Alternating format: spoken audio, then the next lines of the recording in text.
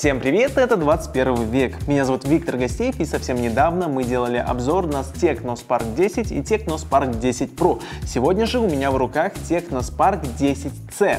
Это у нас упрощенная версия Technospark 10.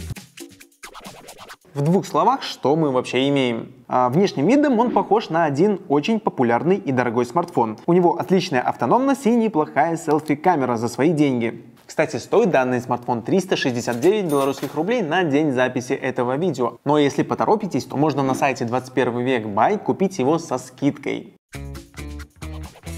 Если вы видели базовую модель и ее Pro-версию, то и здесь вы узнаете ее фирменный стиль. По органам управления интерфейсом все классически. Справа кнопки, слева лоток для двух сим-карт и флешки. Снизу разъем Type-C для зарядки и подключения к компьютеру, а также джек 3.5 для наушников. Корпус выполнен из пластика. Ну а мы-то с вами другого и не ждали. Правда ведь? Всего в цветовой палитре имеется три цвета. Черный, голубой и зеленый. Причем голубой есть текстурой кожи. К сожалению, корпус очень сильно пачкается отпечатками пальцев, но зато в коробке нас будет ждать силиконовый чехол. С фронтальной стороны у нас камера капелька и заметные, хотя и не сильно напрягающие рамки.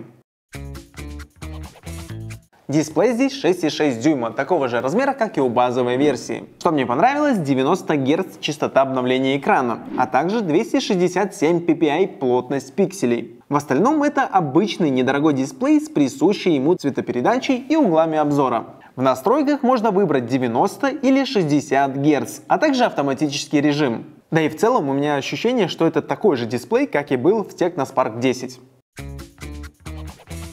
Процессор у нас здесь Unisoc Tiger T606.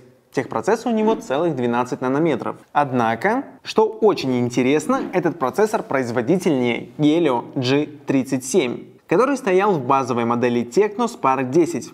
То есть, понимаете, 10C и дешевле, и даже немножко производительнее. На минимальных установках можно поиграть в требовательные 3D игры, а в обычные 2D игры так вообще без проблем. Да и вообще, если вы не фанат требовательных 3D игр, то вам вообще можно не покупать производительные смартфоны, а лучше выбирать из энергоэффективных. По памяти есть два варианта. 4 плюс 64 и 4 плюс 128 гигабайт.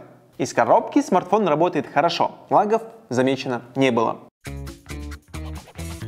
Technospark 10C имеет литий-ионную батарею на 5000 мАч.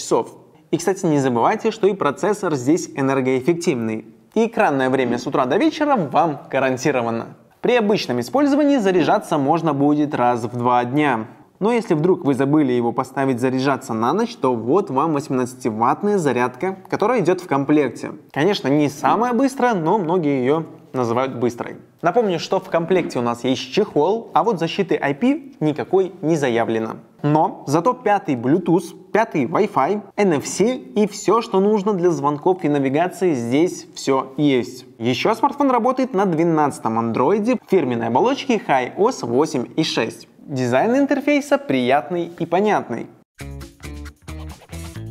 И самое интересное, что же нам сюда поставили по камерам, раз смартфон дешевле базовой версии. А все очень просто. Основная камера у нас здесь хуже, чем просто в десятке. Тут всего 16 мегапикселей.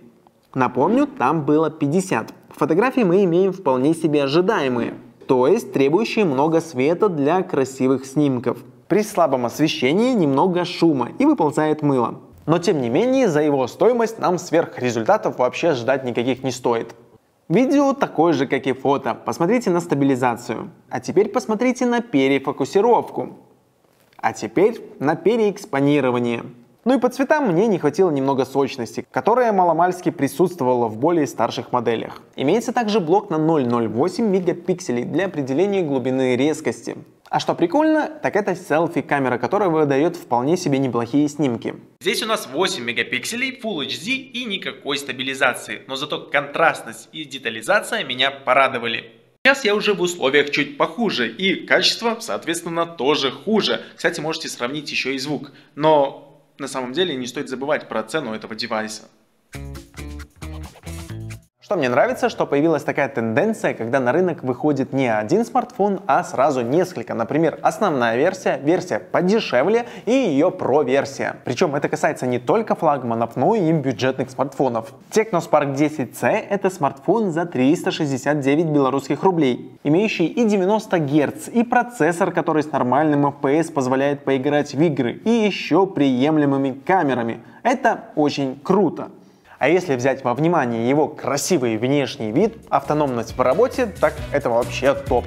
Ну, а на этом все. С вами был 21 век. Меня зовут Виктор Гостеев, Техноспарк 10C. С вас лайк, подписка, комментарий и увидимся в следующих обзорах.